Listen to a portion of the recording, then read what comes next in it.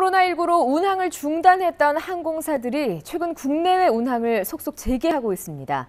하지만 원주공항은 항공사 재정난을 이유로 운항 중단이 장기화되고 있는데요.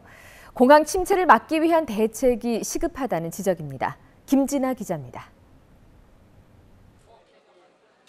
취항 22년 만인 지난해 왕복 2회로 제주 노선이 증편 운항되면서 어느 때보다 활기를 띠었던 원주공항.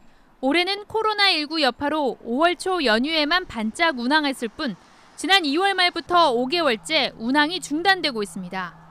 원주공항의 유일한 운항사인 대한항공 측은 수차례 운항 계획을 연기한 데 이어 운항 중단을 다음 달 17일까지로 한 달 더 연장했습니다. 도민들의 항공 이용 불편은 물론 만성 적자에 시달리는 원주공항의 적자 폭도 늘어만 가고 있습니다. 지금 항공 수익과 임대 수익이 전혀 발생하지 않는 상태이고요.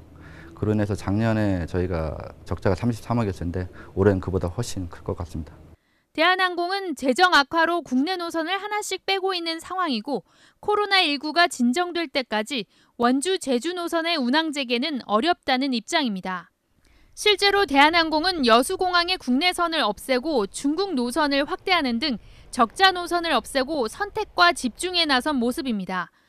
하지만 여수공항의 경우 대한항공이 빠지는 대신 제주항공과 진에어가 잇따라 취항하는 등 오히려 전화 위복이 됐습니다. 코로나19로 해외 대신 국내선 공략에 나선 저비용 항공사 유치가 대안이 된 겁니다. 강원도는 국토부에 플라이강원의 원주공항 취항을 건의하긴 했지만 여타 저비용 항공사 물색에는 소극적입니다.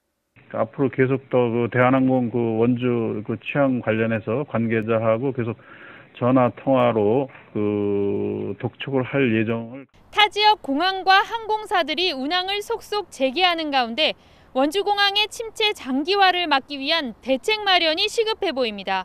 MBC 뉴스 김진아입니다.